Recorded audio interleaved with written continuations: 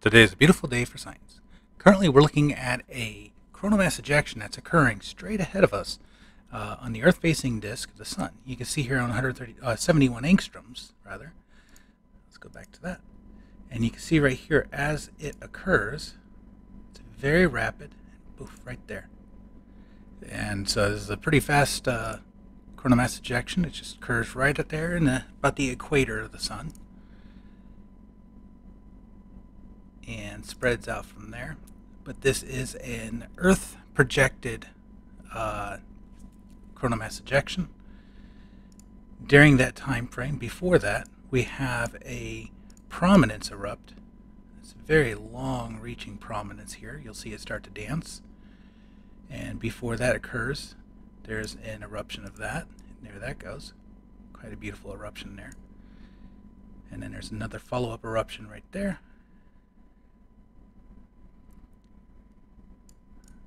But the most recent activity was the uh, the smaller coronal mass ejection that is projected towards Earth.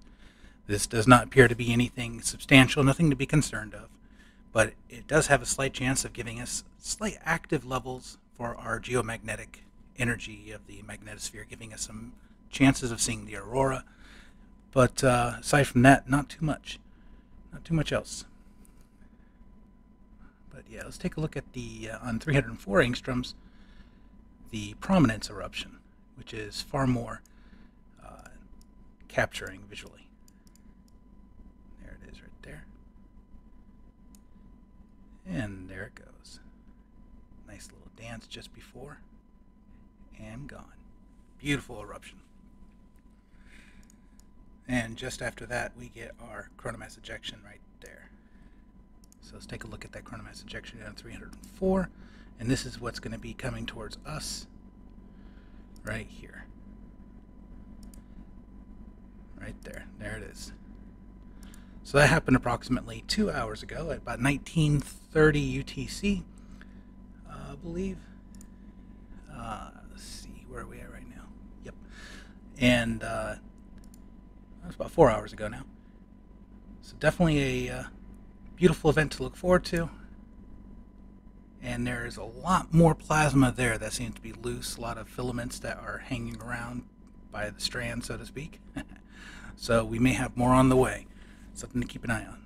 So just in summary, we have a coronal mass ejection that occurred about at the equator that uh, does look to be possible for impacting Earth with a slight geomagnetic activity uh, to be increased. Might see some aurora and we had a beautiful uh, filament or prominence eruption that occurred before that around the uh, south, southwestern edge of the sun that gave a very beautiful view of that eruption there.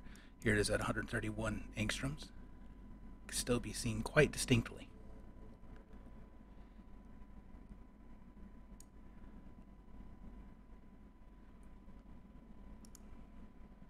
But I still think it shows best at 193 and 211 quite nicely as it captures some of that cooler plasma nicely. There's that. And at 211, which is going to be the pink colored sun.